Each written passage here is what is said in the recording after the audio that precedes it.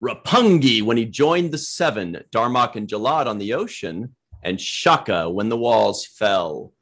Hello, everybody, and welcome to the seventh rule with Cirroc Lofton. Hello, hello. When the recording started. Uh, my name is Ryan T. Husk, and today we're doing a review of Lower Decks Season 2, Episode 2, Kayshon, His Eyes Open. Special guests today, Mr. Rico Anderson and Dr. Trek, Larry Nemecek. Hey guys. That Thanks rhymes. For calling me Dr. in in my in my post Vegas stupor. Yeah. Cirroc and I figured like we could take this episode off with Rico and Larry. Man, you guys could do your own podcast. yeah. Oh, who, who's to say that we haven't? On the secret side of podcasting. No, I am totally happy to be a slice the pie here. This is great. Good to see everybody. We should all be like uh have like Tamarian names, like Cirroc when the recording started, uh Rico when the dumb joke fell, things like that. oh gosh. How did I Maybe that's my name. that's That's mine. what I want to know. How did I get the dumb joke when, when it fell? All right. So uh, I guess I guess we might as well talk about this episode because there is so much stuff packed into 22 minutes or whatever. As Larry said, what what did you say about this? Uh, the the freeze frames, Larry? I said, well, I said your normal lower decks is freeze frame city, but this was like freeze frame city on steroids or or whatever. Quadro Freeze frame steroids. county. something. Freeze frame county. Really? this Um, was the county seat of freeze frame county. Yeah. Yeah, uh, which is why uh, having uh, Rico and, and Larry is so good on this thing because their their knowledge of original series far surpasses mine or Cirroc's, right, Cirroc? I'm gonna definitely say mine. I don't know how far far surpassing yours, but definitely mine.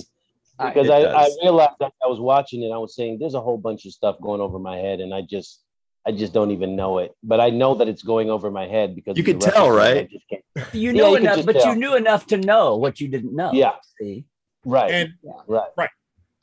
and as much as I know about the original series, someone tells me Larry will probably blow me out of the water I- with his level of knowledge. guys i What's was like wait there? did they i got all excited when they said federation standard and then i didn't realize they had said it once or twice in discovery and picard so anyway i was watching for some historic things here and and i w- anyway it was there was yeah you could just you, you're going to wear out your freeze button on your whatever you've got digital with this As- one as, as Digital one does device. when they watch lower decks. Well, let's Right, start but off real was- quick again with the two room was things. The two things I did catch.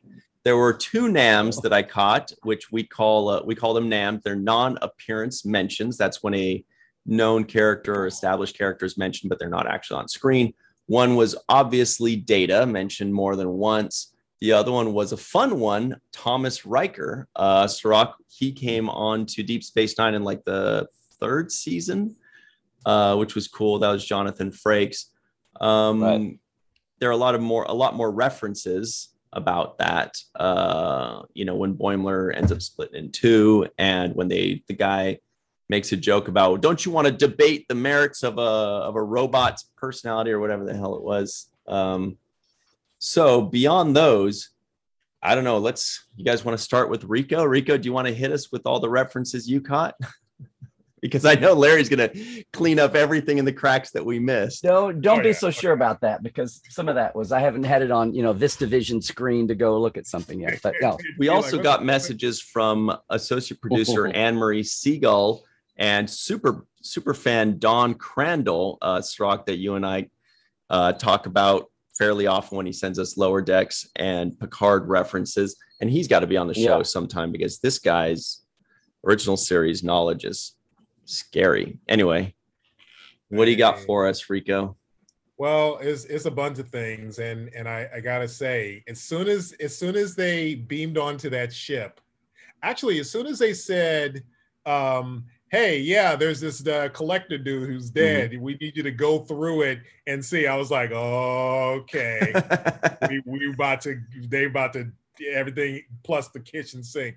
So we we beam over there. As soon as you beam over there, you're like, "What's that? What's that? What's that? What's that?" Mhm. And um, one of the things that I, I noticed right off the bat um, was um, I get all these names always messed up. But remember that episode of Next Gen where Riker was playing that game with the uh, the Yes.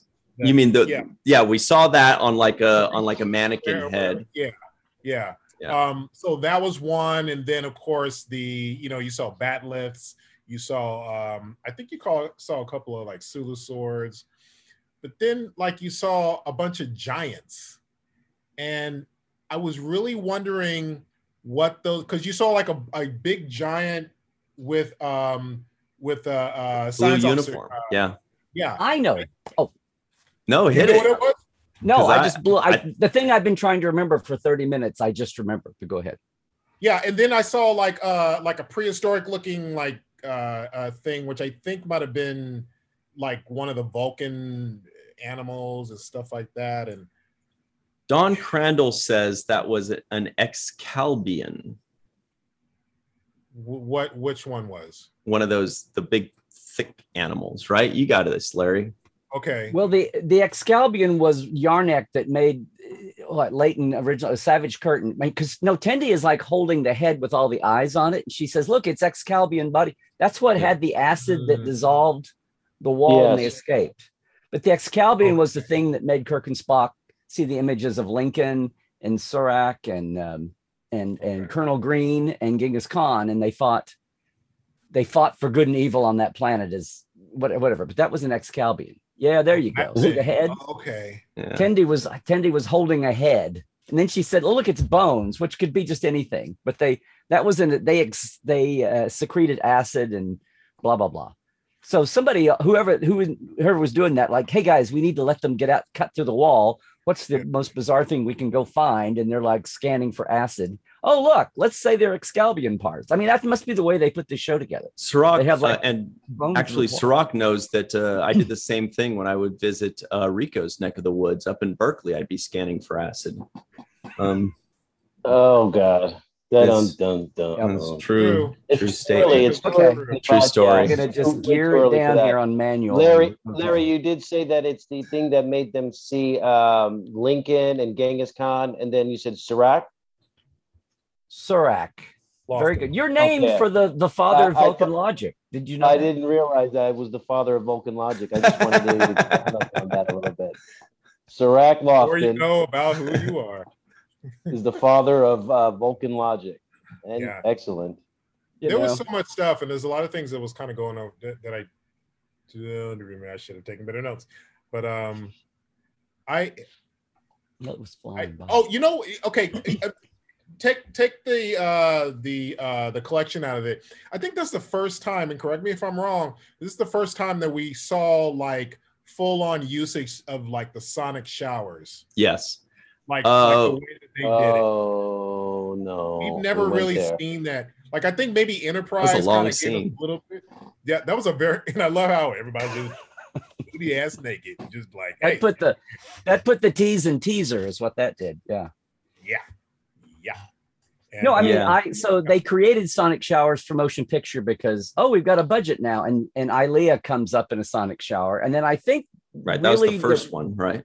One time, B'Elanna, when she's all depressed on Voyager, is in one, and then Hmm. uh, and then Enterprise had an early Sonic show. But I yeah, but you never saw like the communal. We're all going into the into the Roman baths kind of show with the Yeah. control. That was the first time I think I ever. Oh, that's what a that's what a Sonic shower control panel looks like. That was kind of bizarre. And they were all in there together, like one big happy family. One big dorm room. Yeah. Yeah. So obviously, nudity along with currency is not a big thing in the 24th century. Whatever. That's what I'm thinking. For everybody but Boimler, apparently, because she made a note about it. Yeah. I just I was was a little uncomfortable the sonic shower. shower is a lethal weapon. You Why, could sonic Cirroc? shower somebody to death. Wow. Well, think about it. It's like they're turning up the Mm. hot water, Yeah. you know, and and so Well, if it's supposed to, if it's supposed to be like vibrating your dirt away, that's what like when they were bleeding out the nose. It's like yeah, you- you know, yeah. somebody's head's about to explode. Yeah, I, they Such could a- have they could have left that out for me. I was You didn't like the all right. cartoon nudity? That was such a weird scene, man. It was, just it was like- so awkward for me. I thought it was a little bit awkward. I was like, this is why they don't show the sonic showers. You know, this is this is the reason. Uh, Well, well, it- especially, especially, they just introduced a black character. All right, we got our, our black character on the show. I forgot his name, but Jet. Jet. He was in yeah, he was in I think one, maybe two Yeah, he was previous a episodes. flyby. He was in Yeah. another Yeah. episode, yeah. He was he was there to make Boimler a little jealous Mm. okay. of Mariner. But one time, one doesn't give a scene. Yeah. He doesn't give a shit. No, um back to this this this black character. I'm like, well, so they introduced this black character, and then they got him walking into the shower, and I was like, okay, this is one of those Here we go. jokes right here. Yeah. I thought it was gonna. I was like, okay, they're going here. Are they really gonna go to this Are they really good? I was like, why does the brother, the first ep- first big episode that the brother gets, you know, he's got to do full frontal nudity. I, gotta I thought it was. But he got it out of the way, and now he can build his career. now he can start his career. exactly. Yeah. yeah. Um, so yeah, and I'm Uh, glad they blurred. Some, it looked like they blurred certain things, and uh, I like the little blur. Oh yeah. I was thankful for that. This yeah, this wasn't lower decks after dark for sure. I wasn't looking closely enough to know if they blurred you guys. I was hoping that was like the actual Sonic. Dis- Yeah, I was hoping that was like canon, but also did the good thing of blurring body parts. You know, like that was the sonic vibrations at work because we it was blurring the air and you couldn't see, kind of like a heat mirage. You know, only no, Mhm. they showed more on Enterprise. I mean, you know, even with yeah. them not showing, they showed. But That's an Oh. interesting point, Larry. Like, like, yeah, when you're looking over a, a really hot street and you see that that heat Mhm. mirage kind of thing, what if the sonic shower just does that naturally? What what if it wasn't like them blurring it, but the sonic shower just kind of happens to blur your narnar, they were your- your ba- the your bathing too. suit areas. Yeah, they were blurring the guy, the kind of the chest area of the guys too, which I thought was very, you know, equal-minded of them. But, but then I went, maybe, maybe it was. We'll just say that it's the Sonic, you know, way. I think that's a good point. But then Yeah, you can see the control panel really chart sharply, so maybe that's all just. right, right. That was the line. What'd you do? Stop to debate the human rights of a robot? So that was like, is that a, is that a data reference? Is that an exocomps reference? Uh, I don't I know. think it was for a data reference because there was a whole episode about that. there was two for exocomps as well, if I remember correctly. Well, see, my my take was, and one of the aha. I mean, I this was one of those double take time. I guess I had more than I was saying. I had two laugh out loud moments here, but I guess maybe I had two or three. But one was when I went back to watch just the beginning again and get another shot of that room a couple times.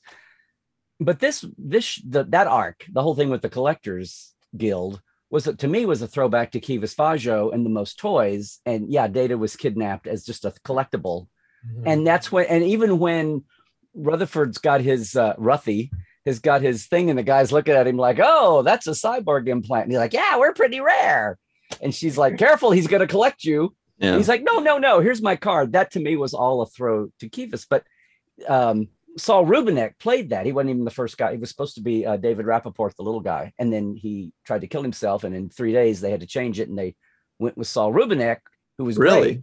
But he would have thrown off the dynamic of having big data being controlled by little guy David Rappaport. But the point was that that that picture on the wall of the uh, collector that died, he's in black. And then when he comes Yeah. alive, he's wearing that two tone purple thing. That is exactly what Kivas Fajo Saul Rubinek was wearing in the most in the most toys. Oh, It Now another- total throwback. A quick thing to add to that, our uh, associate producer Ann Marie Segal, who's still out in Las Vegas somehow, she's still there three days later. Heard She from mentions the name Kivas Fajo, which must have been a subtle nod to our good friend Lolita Fajo. It totally was. Yep. Not so subtle. Whoa, whoa! Lolita got a, a Mhm. shout out in this episode. Yeah. There's a lot of things that went over my head. I didn't. okay. Well, in she got a shout out in 1989 or 90. Yeah, but yeah, this is Next the homage Generation. throwback. The little Okay. pin that's on that. it's an thing. homage to the homage that was done for her 30 years ago. oh wow, double homage. It was that's, that's So- love right there. What were the two lines that made you laugh out loud, Larry? well, it wasn't so much lines, but one of them was um, one of them was they keep playing with Riker and the and he says, "What is it when when they're they're partying?" And he says, "Okay, computer, Nightbird," and the doors close right when you can't hear what the sound the song is, which was the joke from when he's uh, live action on Next Generation. late episode, and they go on. Marina's or uh, Deanna's teasing him about playing play Nightbird, play Nightbird, and Uh, it's like he's about to play it, and they never you've never heard the music of it, but it's like a joke, and so they did the same thing there. He says, "Hey, uh, computer, play Nightbird," and the doors slam just as you can't hear it. Kind of like kind of like the gag of when Morn is about to talk and they cut. Exactly. He goes and. Yeah. they cut. What was the other laugh out loud moan? Well, I I don't know about laugh out loud, but one was one was uh, one was the con, but no, one was the shuttle, and I didn't even think about the shuttle they took from the Titan down to the miners. And you know, it was only like the second time I was like, "Oh yeah, the Titan number. Oh, okay, it's on there." It's, and I'm like, "Yeah, they've got that at such an oblique angle, you can't. Re- they're not putting a name on that thing." And the second time I watched it through when it's coming at you, it's the shuttle Coltrane, which I guess is for John Coltrane. Oh, nice. It's like, Oh, I didn't oh, catch okay, that. fine. So Riker's like naming all of his shuttles for Yes. for jazz course, musicians. yeah. Nice. Makes So sense. anyway, The Shuttle Coltrane. I like that one. Mhm. Okay. that was the yeah, yeah, yeah. They- No, but the, the other thing- Now, are we sure that it wasn't a Dukes of Hazzard reference? Yeah, I'm pretty sure. Rico knows, I'm right? pretty sure when Yeah. he said Coltrane. Yeah. Roscoe P. Coltrane. Yeah, I don't think it's a Roscoe P. Yeah, it's probably I'm with- you're, you're probably I'm right. with Cirroc. Yeah, pretty. I'm gonna go with That's him. Not in one. not, not in 2021. Yeah, on a, yeah, that that show didn't age very well. for no, us. no, no, it did not. Now, Cirroc, uh, speaking of which, you guys, we started a new thing this season that just started, which is Cirroc's favorite line of the episode. Oh yeah, Do you have one for us today? I do. I actually had two of them in this particular episode. Bonus. Um, my first one is Jonathan Frakes saying, "Great job, everyone. That's a wrap." I remember saying that on the set, so that's like his tagline when they're Mm. done for the day. I loved hearing him say that. Wow, that's a was like, deep they cut just- then. Right? Yeah, they snuck that one in there. Um, it was just good to hear that. So I was like, "Oh, look, they got that. Uh, great job, everyone. It's a wrap." Because I swear he said that um, many times while we were filming. Um, like the a other one that I really, yeah, it was a little, it was a flashback moment. Um, and I think, by the way, Jonathan Frakes is excellent in in pretty much everything he does, right? I mean, from acting to directing and now voiceover. I mean, he's just he's he's consistently great. So Mhm. big Right. shout out to him. And You should try his him on the show pizza. one day. Yeah, um, I've seen the pizza. Not sure about it yet, but but he's Oh, definitely just awesome try it, guy. Rock. Just, Just right. All right. All right. I'll have some pizza. Um, so yeah, Jonathan Frakes and his excellence. I love I love the guy as a person. I think he's just a big personality, wonderful person, and you know, fills up the room with his presence. So just his little line there I thought was funny for me. It was like an inside joke for me. But the other one that I really liked the you know, as much as or or equally would be um the line when the when the alien behind you, Ryan, gets turned into a doll. Yeah. And and the octopus alien says something to the effect of uh, he'll be worth a fortune. I just was loving I was loving that line. He'll be worth a fortune. This guy's a collector, and all he was thinking about is what else he could add to his collection. So I love that line too as well. So this alien fellow is a Tamarian. I believe they make Tamarian Mhm. sunset beverages. Um, he was introduced in the episode Darmok Next Generation, or this type of alien was. And what's funny about them, and we kind of talked about it a little bit in our first episode review of the second season, is that they speak everything is in metaphor for things past. Like they don't say, I'm hungry. They say, Ryan at the refrigerator or whatever it was. And you're supposed to remember, ah, yes, this was the Mhm. epic legend of Ryan when he was so hungry that he was at the refrigerator. I understand this. So that's why, and that, that was like such a great running gag where he'd be, he would say, Oh, you know, what's that thing? Uh, Darmok and Jalad at the ocean. They're like working together. Ah, yes, or whatever it was. Brilliant. Loved it. Yeah. Well, the the original Darmok episode was all about like the, the universal translator could totally tell you what he was saying, but you had still had no idea what it what it referred to because it was all about context. And it was a you know it was a great Star Trek sh- story that can only be a science fiction story. But as usual, Lower Decks goes all meta on that and steps back and makes fun of that. Like, really? How does that work in real life? And how do like the poor guy instead of like can't remember the words, he can't remember the the phrase, the normal phrasing for the metaphor. And it was like, okay, that moment when he first walks on the bridge, and you think, oh my God, he's going to speak in Tamarican, uh, Tamarian, you know, gobbledygook metaphors. What does he say? You know, Ren- Renelke when he met the seven or whatever it was, and You're they a and they had that moment of Lower Decks, everybody staring like, oh my God, are we gonna be? Are we really gonna be a thirty year old episode here? And then he breaks it, Right. you know, and comes up. Oh, that's okay. But then he still has the breakdowns, you know, and gives in. And um, and then Jet getting accused of being a brown noser because he knows the Tamarian, and you know, Mariner's like, oh, you know, more like a suck up to a That was my favorite line actually, because that is Yeah. totally Ryan humor. There was when he said, "Oh, where where did it go?" But he says like, you know, whatever at the whatever, and she's like, more like suck up at the. Damn, I wish I At had the line Yeah, yeah. Tanagra. at Tanagra. Yeah, Uh, yeah. He says it's no beast at Tanagra, and she goes more like suck up at Tanagra. That was funny. A plus line for me, I think. Uh, Rico, you know, by the way, Darmok played by the great. Paul Winfield, late great Paul Winfield. Mhm. Who Mhm. was also, who was also in Star Trek II, Captain. Wrath of Oh, that's Khan. right. That's right. You can see him in the TWOK. Yeah, Yeah. Uh, the what? the Yeah. the Wrath of Khan uniform. That's what they call Oh, it. okay. The TWOK uniform. okay. yeah. Re- You can talk Yeah. the talk, but you can't walk. Oh, that's Paul Winfield. Really? A plus. Okay. Just looked Yeah. him up. Hmm. yeah, he, he's from the. Uh, yeah, he's from he's from the old school generation of. He's uh, old school generation. Yeah, he's like one of them old school actors. mhm. Born and in was 19. great in uh, Sounder with um, Sounder, yeah. Sounder, the TV movie. Cicely Tyson. Cicely Tyson. Good grief. Yeah. Yeah. Um, he played also. Oh God, did he play?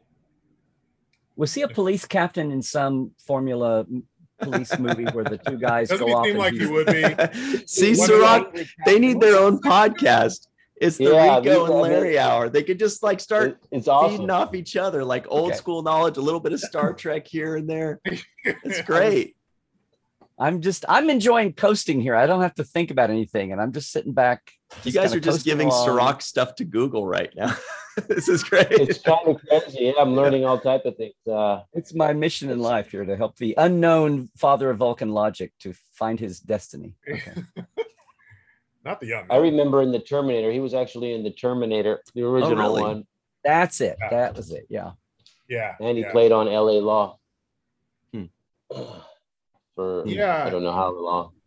But no, he he was part of that that that old school, just you know, just that old school. Uh, Well, he did a movie with Sidney Poitier in 1969. So Oh, the one, the the Sidney speaking Poitier of- right behind Rico. yeah, movie called The Lost Man.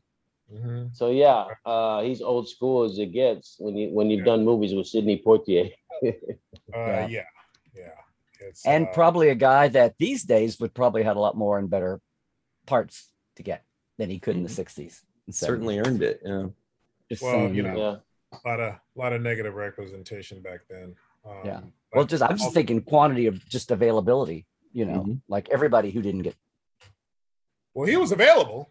It was just. Oh, you yeah, know, yeah, yeah. That's what I'm saying. But you know, name the ethnicity and name the not male gender people that didn't get, you know, Oh, they yeah, just didn't have the roles. Yeah, the diversity. like- yeah. like him and Brock Peters, where they they were kind of like of that that uh, Mhm. uh, group of actors that that were you, you always saw them doing stuff. So And Sidney. and Sidney, yeah, Mm-hmm. Sidney, um, yeah. So well, he got to break through to that upper echelon as far as main Yeah. mainstream. I'm air quoting here, Mhm. Yeah. audience, but yeah, yeah. for Okay. sure. Now, speaking of mainstream, your thoughts on the Pakleds? We've seen them in previous episodes. My favorite part of theirs was when they said, hit the wall with the saw. You know, they're really milking the Pakleds for the, they're right, because it's a race that's ripe for humor, you know?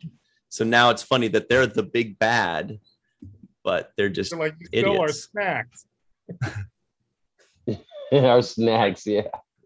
they are they are such the lower decks adversary to have. It's like, mm-hmm. no, we're not going to go up with Romulans, Klingons, Borg. It's like let's make the Pakleds. It's, I love how whenever they show one of their glommed ships, because they're almost like they're like the the cheap uh, junkyard Borg, because the Borg assimilate things, Right. and it all becomes this big gleaming mishmash, and the Yeah. Pakleds assimilate things, and it's Yeah. just kind of stuck on, you know. So they've got like pieces of all these people's ships hanging off. But I love Yeah. how the middle of all their ships is that little triangle ship you saw Yeah. in their you know in um in peak performance that thing with the little pointy nose that kind of hangs down like like a duke like a dewclaw or something or a dewlip or something but it's, it's like that little original ship is in the middle and then all this just stuff just glommed on like it was somebody that had a trailer and they just kept adding on That's a good way of Look putting it too. Yeah. It- it's it's kind of like the homeless encampments I see a lot of out here in Los Angeles. It starts Yeah. off with a tent, but the next thing you know, it's got a barbecue grill and a Right. porch. Tarps, a lot of tarps and things. Yeah, and couches. Target It just card. keeps getting bigger. You factor guys- six and You tarp guys are the right ones to ask. They mentioned the dead collector, and with lower decks, it feels like everything is a subtle or not so subtle nod to something. But they mm-hmm. said they mentioned the dead collector's name was Kerner Haas. I don't think that's a reference to anything. And they also said the terrorists tried to use it to blow up Staircase 58. That also felt like it must have been something, but I don't think it was.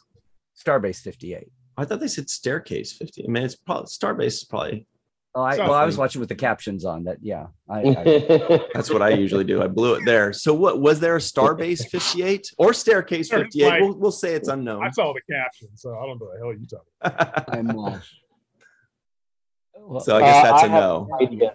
That's just that's my answer, Ryan. I have no idea. it's uh it was a, it was only uh an okudagram reference from a D- from ds9's whispers but it was nothing to do with the story it was just on a big chart of people coming and going Oh, what? so they found a safe thing that had not been I, it's really funny sometimes when they when they get into something that's dicey that they think someone's going to go you know they'll say starbase 58 and, and somebody say uh, you guys in episode 2.9 of voyager starbase 58 is supposed to be 12 knot point nine like you know it's like they get these safe things that are mentions and throwaways but they've never been grounded in anything. So i mean it's very cool. They go they had been mentioned before ish but not in a like important way. So they can just have it be a throwaway and Mhm. oh look we're starting the new canon thread of oh a terrorist attack. Well it's it's canon now. And this this veruvian ore and they said it's a veru it's like who knows who they are. So it's like it's really weird that they're laying down all this canon for real that somebody five years from now is going to take and run Right. with. It's they'll fodder. this like it's like air thread you know to what it, where it came from yeah I, I have a I have a small theory about the giant science science officer bone structure. Let's hear was it because gonna- I heard one too, and I know Larry's got. It's I- probably all the same thing. So that was my Yeah. other laugh out loud moment but go Rick. yeah well, and and I I okay. So didn't Spock grow hella tall in the animated series? exactly yep So I, obviously it wouldn't be. and his Spock, name was Paul Forrest. No, I'm just kidding. Shout out to Tall Spock, Paul Forrest. of course. Uh, that would be fun actually. it was actually a Um, clone of spock because spock talked to his big self It in that was a clone. So basically, that all intents and purposes was probably him, because who else? oh i hoped it was Like dug up. No, and you know, it's the way they it was just there, and it was it wasn't like you looked at the skull and said, "Wow, that's a Vulcan skull." It's like, how do you know? But the fact that it was like this mountains of blue, or you know, with the original series rank on it a little bit, but Yeah. you knew what it was. It's some humongous original series blue old science outfit. And it's like, well, who Yeah. who else would be a huge you know blue science officer but the fact that they they've had the scene like they were climbing up mount 50 foot spock and they were just like wallowing in that blue material background you know they had a whole scene and they had their leadership thing they look at they're looking at tendy and rutherford like who you know who should be in charge it was like they stayed on that blue fabric forever and it's like they're just rubbing it in your face that that's what it has to be and but it's so subtle it's like it's here if you want it and don't worry about it if you don't know and uh, Right. meanwhile you're just like dying Right. It's not crucial to the, the Yeah. plot at all. But also, real quick, like. Veruvian ore, as Cirroc knows, we kind of count these Trekkian names, which are like they they say Veruvian ore or Albanian wool. It's just some made up Mhm. thing with an I A N and then something that we've all heard of. They never say it's Right. Albanian sloggles or something like that because you don't know what a sloggle is, but you say an Albanian hawk, you go, oh, it's a hawk. I get it. Mhm. So we had Veruvian ore was one. Hey, Uh, the only thing I picked up in that episode, as far as the collectors thing, sorry to cut you off, Rico, but it was the uh, the Chateau Picard cases. That was really that's the only thing I saw. There were st- Nice. boxes of the Chateau Picard um, somewhere in that. You missed that? yeah, missed that? Like, Yeah, like he had a two couple two cases. stacked tall where you could see Yeah. the Chateau Picard over whatever was standing next to it. I know. Yes, yes. That's that's what I noticed. I was like, oh, okay, they got the old cases, maybe you know some wine. So that was about it. Drinking that wine and smoking them tweeds. Uh, what were you gonna say, Rico? No, I was just gonna say the the lamp behind you with the purple coming out. I don't know why, Yeah. but it, it it has a very uh uh TOS uh type Mm. of uh look to it. You know how like TOS had like all these bright color like what like one side of the wall would be red while this side of the wall would be green. Why? Just Yeah. because that's how they lit shit back then. So Yeah, you know, and they used a lot of pastel colors too, a yeah. little bit. But uh, your- No, your I guess-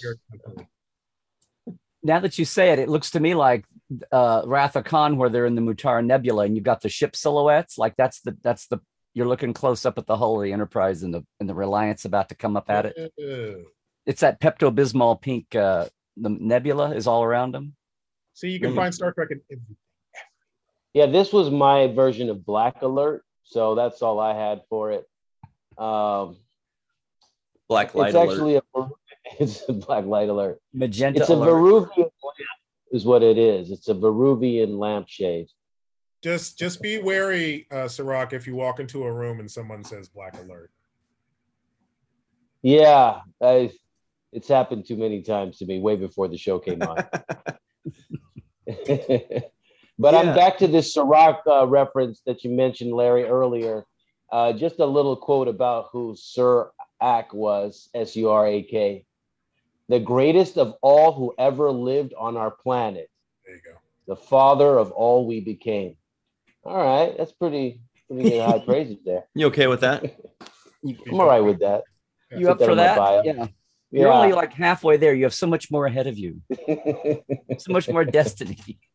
It almost Oh, seems man. like Lower Decks now has become a show where Star Trek nerds can kind of almost like keep score. It's almost like a trivia night where it's like how many things Yeah. can you get, you know? Oh, yeah. And and you know everybody's trying to outdo this, you know. And I always go back to one of my favorite scenes ever in Star Trek, which is uh Data and Hutch in Starship Mine, where you know Data is learning how to do small talk and he's watching him and and so he Yeah. you know one guy you know he's like did you know that blah blah blah blah blah and data's like i did but did you know that blah blah blah, blah? you know that's what it feels like when you're watching lower decks like you know everybody's catching this and trying to climb on top of the last thing to add to it so It's, it's like we need different said- categories. We need like the what did you get on the first pass, and then Mm. what did you do with the freeze button on the second pass, and you know, it's like a little yeah. If you really want to make a competition out of it, and oh why it's would already you do been that made except that it's fandom? Yeah, yeah. so let's Make hear great you guys show. catch any other references by the way Um, I heard I heard um, when the collector was talking to uh, I think to Rutherford, he said, "Take my card. I've got plenty of menageries." Wasn't that a oh shoot i didn't even catch Yeah. that Yeah. mm, well I've got lots in my menagerie. Yeah, Yeah. yeah? He said Excellent that right, knowledge. Larry. I think you, saw- you Yeah. caught that too, right? Yeah. So I figured that was a reference there. Um, that's the only other one I got. okay Well, can I just say this is like a mini laugh out loud? Can I just say that the fact they're like Boimler's not there and they're talking about him and they're going that they say that that Boimler had this, but just the fact that there is a class at the academy called Ethics of Collecting. yeah. Right. Yes. just uh, uh you know speaking of the guy who was running around trying to find a baseball card on ds9 you know Well, I know all about ethics of collecting on and and breaking camera. those ethics. But it's like in a But, uh, replicator society, the fact that they still, which you know, they did on the show. They everybody did that. You know, here's the Buck Bokai trading card and all that. But it's Yeah. like the fact that they have an academy. Like, does West Point have a class called the Ethics of Collecting? I don't. I don't think they have time for it. But I just, I just died when I heard that. Welcome back So back they to kind life. of referenced that a little bit in Picard. I thought um, when Picard was going into the like Hall of Fame, like the Hall of Mhm. Collections or whatever it was for the all the memories of every particular item. Yeah. When he was looking for all that stuff, it felt like that was Starfleet's Hall of Collections, right? Yeah. Where they had all their memory memories alpha, uploaded. Pretty much. Yeah. Yeah. Yeah. like their Smithsonian memory outfit. Yeah, Basically. but just the fact that private people would still collect stuff just to brag, and they did this this episode. Well, my collection was bigger than his, but okay, fine, we were friends. Right. How how cool is seeing finally after 30 something years seeing the Titan and seeing Oh, yes. Mhm. Little mini adventures aboard the Titan. And I think they're nailing Riker so perfectly with just him. He's got his own ship. He's all about adventure. Even like the way they draw him, it's almost like he's like, let's go. Come on. Nautical Yeah. beard, It- it's nautical it's- beard guy. Yeah, it's great, man. I, I love it. it he's, you know, you, you want to see that. I want to see a series, you know? Yeah, I, I've always wanted to see that too because I, I've read the first three Titan books that came out when they came out back in the day, and there were so many characters, and they had so many different aliens and types and species, you know, and it was really an interesting thing. I don't think Lower Decks is really reflecting what was written in the books, but as we know, the books are not canon, so they can do whatever they want with them. But still, that always piqued my interest about the Titan and, and you know all the hijinks and adventures that they go through. Now we're going to see it through the eyes of Boimler Plate, but good enough, I guess. but it's fun, man. And, and I think it could be, Mm-hmm. it, it could be another series and, and Mhm. I'd be, I think a lot of people would be here for it, if, especially if Frakes is on board. And, you know, it's obviously just like, whoops, just like, um, earthquake, just like, just like lower decks. I mean, it opens up the possibility of so many legacy characters to fall Mhm. through. And, you know, it could be even more serious, maybe a little bit more serious, not too much serious, but, you know, it, it can have a different flow from what lower decks does. I don't know. They, It- it- it's a lot like MASH. They find time. Sometimes it gets a little more serious. Like after a while, you're like, oh my god, she's like Rise of Invicta. It's like she's she's psychoanalyzing herself, and somebody's gonna get hurt here, you know. Yeah, but yeah. but there's there's some pathos in there that you're not expecting by the time they wrapped up the first se- season. You just you're like once you made peace with the idea that this is going to be good, and you'll laugh at it, and that's all you expect. And then the next thing is, oh my god, they're making you care about the characters. You Right, know, it's not just ha ha in a Right. well done way and drawn real well. It's it was I kind mean, of amazing. Look- Speaking look of, finale, like, go ahead. go ahead. I was just going to say, speaking of the uh, the characters and liking the characters, how do you guys feel about Boimler Plate's uh, secondary clone guy? I mean, you could tell which one was the original and which one was the clone because the clone was completely different. And like, you know, they had the funny scene where you know the the dumb Boimler, you know, steps forward. He's like, "Oh, I thought we were supposed to both do this," and he and the other guy's like, "No, I just thought we were sharing like a clone moment or whatever it was." And then he ends up becoming best buds with Riker so quickly, and he wants to be. And he's like, "Have some Romulan ale." Meanwhile, the original uh, Boimler is is reduced back to ensign and sent back to the trash ship or whatever, you know, the secondary mission ship. Uh, I thought that was hilarious because now whenever they bring that back, you know, he's going to be like a, a lieutenant, and then they're going to see him in the third season, going to be a lieutenant commander. You know, he's just going to keep flying by. That's true. Yeah, I thought that was a clever way for them to bring Boimler back, actually, because we were Mhm. missing him on the show. I felt like there was a certain element of the show that wasn't complete without him, Yeah. um, because his character is so integral to the, the show. He's basically the you Well, know you- the number two on the call sheet. So Yeah, you knew he was going to be back around. You knew it was going to happen. Yeah. It's like, how are they going to do we, it? yeah, how are they going to do it? And they decided to do it by you know doing the whole uh, Thomas Riker cloning. They cloned they cloned an episode, which is hilarious in Yeah. itself. because the episode was about cloning. So that's, I mean, that's as that's as good as it gets.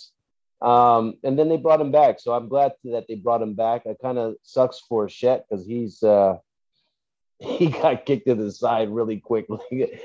you know, there's my friend. There's my friend. Um, Yeah, well, they So do have a lot Boimler of got done the way he did characters. Mariner.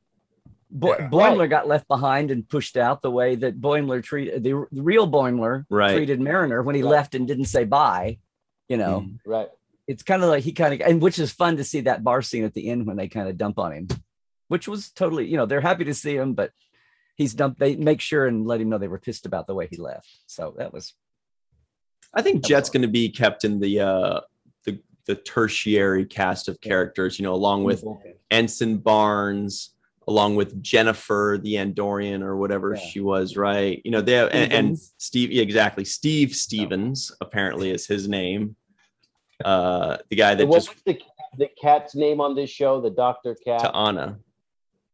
Yeah, when T'Ana said, "This is not the first time that I brought back a stuffed animal or something like that." I thought that puppet. the- that's the first time a ever. puppet. Yeah. with a sign on it says, "Please do not play with it." I thought that was That was that was a nice little joke Can't right you there. And and Migleemo is in this, and he's in. He I what dawned on me was he's sitting in the old council like Troi's chair, like Right, the the one to the bird left of guy. the captain. Yeah. You know. Oh, and what about Data? All he wanted to do was feel. It was such a yeah. Right. This Well, was the the doctor that used the uh, fruit metaphors or whatever it was, right? Yeah, yeah, yeah. But Oh, this yeah. one Oh, actually, yeah. had, if you think about it, they had Boimler on the Titan with the adventure, and then you've got the foursome uh, on the collector ship, and then you also had the Captain Freeman little. They actually had three plots going, and Mhm. and the and the C plot was her and her her uh, her performance review about how Right. she's supposed to be Happening in 30 hands off and yeah Right. And that side by that side eye when she says i don't micromanage anything and everyone just kind of looks away yeah, that was Yeah. a great white shot. You're like, eh, I don't know. So here we go. Really? Here are go ahead, Cirroc, because I'm about to hit a bunch of information. So let's first. uh, Oh, okay. So I'm just going to make a reference about the joke. They said they had string quartets. Wow, what a rush! Play me a concerto. The they they made a little joke about the the theme music for mhm. uh, the shows, which was kind of uh, a funny little self-deprecating joke. Uh, but I really, but really quickly, I just wanted to bring up the point that I thought was really kind of lost in all the humor, and that is that there are certain people aboard this ship, or, and just in life in general, that feel like they're not able to speak up and talk about whatever their solutions are to problems because they're outranked by somebody or their bosses, Mhm. you know, and shutting them down. And I thought that even though it was very briefly touched upon with um, Tendi and Rutherford kind of saying, hey, we have an idea, but you guys never listened to us. I felt like they touched upon a, a real serious issue that a lot of people have solutions for things and they have good ideas and sometimes are overlooked in life. And I just felt like, you know, we need to bring light to those people and they need to they need to have the courage and the opportunity to speak up um, in different moments, you know. Right. So that's, Yeah. that's my two cents on that. Good leadership that's the- includes listening to the other people. Yeah. Yeah, and Very that's see good. that's the deceptive part about lower decks because you can actually take a real kernel of a human you know, a life lesson away from it in the middle of your thinking you're just enjoying this cartoon and you Right. yeah it was great and it was a great character thing because Boimler I mean uh, Mariner and and Jet both kind of shut up and looked at each other like oh yeah they're totally right Yeah. Right. It's Right. true. Yes, you could get a good kernel of truth out of there, or a corporal, a major, whatever you want. Um, So you know we should. Call, sorry, Rico. Rico looked like he almost passed out from how bad that was. He's like he, got woozy. out. That's his He got out face. woozy. it wasn't exactly a private I know moment. Rico's tune out face. That was his tuning you out face. It was very good, Rico. Very good. Thank you, thank you. You The know, reation so- I don't recognize it is because that's the only as long as face he has around me. Uh, you know what? I was just going to bring up uh what what some of the uh, the fans and friends said, but I feel like this should be called called like a segment called like Nerd Alert, right? Because Nerd Alert is when all the all the references come out. So, associate producer Ann Marie Segal says, and I missed this. There's a Betazoid gift box Mhm. uh, which was right the silver Yeah. face that was Armin's first role. Actually, his first role was as that you know thing where he's like ah, you know, uh, in the next generation. Um, I was in the collection. Yeah, Yeah, because at first you could see it, and at first I thought it was like a TV. I thought it was like a, a '90s plasma TV or something, or not a plasma, but a you know a big, a skinny TV. And I thought, well, that's kind of random to have it be a TV. And then there was one angle when you could finally see there was a face. see, I it wasn't the that. hump on a TV It would have been funny though to see a plasma TV or even like a, in a collector's museum. Yeah. yeah. Uh, so that's a good nerd alert. Uh, she also mentions the game headset that we all mentioned and caught, and uh, Kivas Fajo, which was like a Lolita reference. Our buddy Don Crandall, big time nerd alert. He mentions uh, the co-ed shower, which was very similar and possibly a reference to the Starship Troopers. Sorry, the Starship Troopers uh, shower scene, if you remember that one way back in the day. But it was very reminiscent of that. Uh, Battlestar Galactica remake also does the co-ed showers. Uh, but then you mentioned the first time we saw that was in the RoboCop movie, uh, who was also directed by Starship Troopers Paul Verhoeven, however you spell that or pronounce that. Lots of nerdy stuff there. He said the giant skeleton, right? Like what you guys mentioned, Spock. Uh, something I had forgotten was Walter Koenig actually wrote that episode, so that's a nice uh, homage to Oh. him. That was his. That was his uh, bone thrown because Walter didn't get to voice Chekov in the animated. So they- right. They gave him one episode. and the Retlaw plant, which is Walter's. We spelled good backwards. now? Okay, cool. Yeah, he also mentioned the Abraham Lincoln episode that you guys mentioned.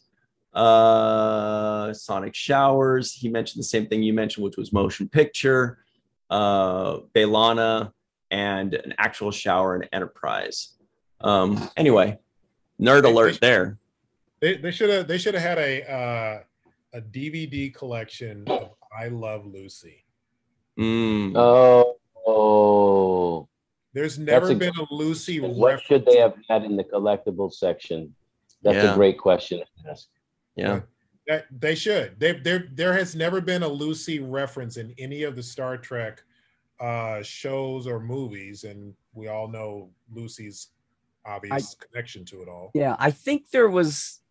I think they were going to go bigger, but they didn't. But I think there's one mention of Lucy when Enterprise is in the. fi- You see, T'Pol's great grand. I mean, when the, the secret Vulcans crash land. You're right. I think You're they right. say something about, "Hey, I don't want to miss I Love Lucy tonight," and it's You're not right. a big deal. They just they just say it. No, really. There right. you go. Oh, There it is. I think. There- I think everybody's going to yell at me no, you're right. I, I remember that. I remember that. You just you just reminded me. because You're it was in the fifties. Right. Yeah. Yeah, yeah. That was a wink and a nod. You're right. I, yeah, I, I missed the "that's what she said" moment um, when you said, "I thought they were going to go bigger, but they didn't." And sorry, Larry. Zip, zing. Zip. It's like a flying animated mek'leth flying past you. Also, Look at the uh, quick shout out to J.R. Poole that made this awesome uh, poster for Malissa Longo. oh uh, yeah, all the, the women of I've Deep Space that. Nine, but he had he put Lucille Ball right at the bottom there, Yeah. which is really cool. Beautifully done, J.R. Poole. The Black Heroes Movement dot world is his website. yeah. That's a great. Uh, that's a great uh, Mhm. make, mock-up that he made, and it looks great. I mean, it just ties in all the things, at least for Mhm. Deep Space Nine. Um, he could do one. Yeah, he's done a couple of others. He could do the Women of Trek as well. I mean, and just have every woman in Star Trek, but that'll be a, a lot bigger pic- image. But um, he's awesome, man. Shout out to J.R. Poole and his uh, his skills. But I wanted to say we talked about a little bit about the animation, but the animation is is is awesome, especially when they show the ships and the, the fighting scene Mhm. um, when they when they show uh, Frakes on the Titan, I mean it looks it looks good. Like I'm like how this will take a while for this one to age because it's it, it's done well enough that I feel like over time it'll still have that appeal to it. Yeah, I love the exterior shots. You know, we mentioned before Yes. how it almost seems like it's a different company doing the exterior shots versus the interior and character shots. And those exterior shots just have such a, a bigger in scope uh, look to them. You know, they just look more detailed and more They're Beautiful, realistic. yeah. There's more realism to the to the exterior shots. I Mhm, would agree right. because the the interior, the act, the animated actors look cartoony, Yeah. right? You you they, they have that cartoony feel. But when you watch the actual animated, I mean, when the animation for the exterior shots, it you kind of lose the cartoony feel, and it's more it feels like you know CGI ish or something. It looks Right. actually pretty pretty realistic. Yeah. I mean, it's you're on the edge of your seat when they're doing the barrel roll and come up the, the Yeah. aft. See how they Yeah. look with their aft Yeah. hanging out or whatever he said. Yeah. yeah. You got your What does that pungent- mean? No, it was it was a line in it was a line in the episode. Oh. All Yeah, right. that Well, we're just about it, out of time. Uh, you guys have any final thoughts on this episode? Yay, I just want nay, to jump you in with two it? or three, two or three things from that room before everybody yells. So the the goofy mask that Data wore in masks is like that's in there one time. Oh, I didn't Uh, there's see a that. Kadis-kot board. Yeah, it just it's like one shot, and I didn't see it the first time. But there is a the thing that Naomi Wildman played with Seven in Mhm. Voyager. There's a Kadis-kot game board that, Wow. that pops up a lot of times. Anyway, I there's saw that. I there's so much. It's it's Wow. pinkish purple. There's just so much. I don't. I'm and somebody's going to shoot me here. There was very prominently a couple of like it looked like red high top tennis shoe sneakers. I want to say sitting next to the Chateau Picard crates. Like Jordan's? I was like racing along trying to figure out. They either looked like they were lace ups or it was just some alien thing. But Maybe it was uh, Back to the Future. obviously- Back to the Future. That's what I was That'd be a pretty good not. reference if it was. Well, it wasn't the Star Trek thing, so I didn't know. I was trying to think Star Trek references. Anyway, there's a ton of there's a ton of goofy That'd be so cool. goofy We'll have things. to check the that out. Picard painting is on the wall that he was making in art class is back over on the the Oh, really? yeah. Wow. But there's another one that looks like it's a, a naked binar nude with under a drape. There's some alien head under a drape, like it's a classic nude with a drape over it. Hmm. But Sorry, I missed that one. Alien head that's sitting up on that back wall a couple of times. I was like, okay, you could, but it'll take hours for somebody to scour, and some people already have. They're already Mhm. got a lot of it, but there's so many wacky. Uh, let me ask you a question, Larry, while you're going through the list. The uh, the sex helmet thing that the uh, alien stole that set off the alarm was that is that a reference from anything or is I think that just was made up. I think that was just Okay. totally off the wall. Yeah, the look looked There's no good, but penis sex helmet. there was like blood on it too. yeah, you saw that, right? I was like, Yeah. Oh, yeah, it's Klingon. So. yeah. Does it give you magical powers, and where can I get one? yeah, Um, yeah. Well, you know, Klingon sex is supposed to be kind of da- you know dangerous and Oh, yeah, but there's Okay, like okay. there's like you know weaponry at the top of it. You know, there are th- blades. I know one thing you're not going to be doing with those blades on your head. I'll tell you, Batman is not going to wear that one. Uh, Rico, you were gonna. Or is he? I don't know. Yeah. I don't know. Rico, you had something to say?